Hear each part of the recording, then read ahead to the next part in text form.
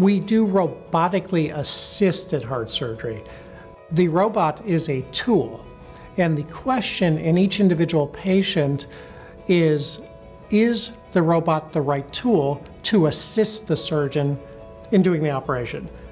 It is a huge honor and huge responsibility on us as physicians to respect patients, to respect what they're going through, and most importantly, to offer treatments to change their life and to get them back to having a normal life expectancy and get on with their lives. In traditional open heart surgery, we have to open the sternum. While that's an effective way to operate on the mitral valve, it does lead to significant recovery time.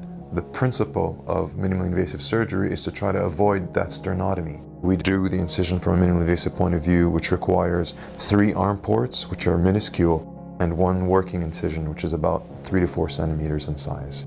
The robot has two parts. One sits right next to the patient, and it's got four different arms. They're long tubes that go into the patient, into the side, through little puncture holes and each one of these tubes holds an instrument or a camera. The surgeon is sitting down at a console that looks like a very elaborate video game. We get unparalleled visualization inside the heart.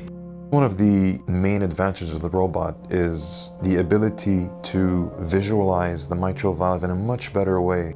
The robot offers a 10 times magnification and that offers visualization of many parts of the valve which are sometimes hard to see in open heart surgery. The motions of the robot, the articulation of the instruments are so precise and it mimics exactly the motions that we do in a 360 degree orientation.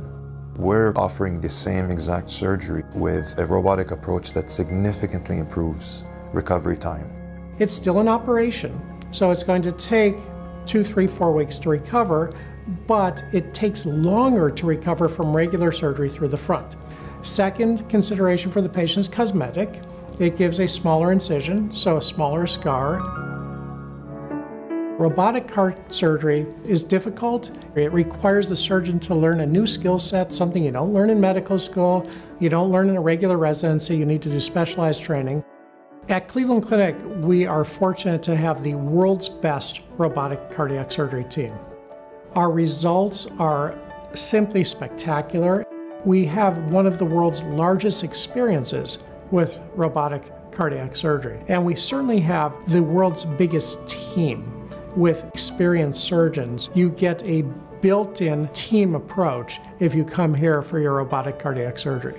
The most important philosophy of this institute is patients come first and to produce exceptional results and they're well taken care of. This is a big deal. People who come to us have life threatening problems, and that means they are entrusting us with their lives.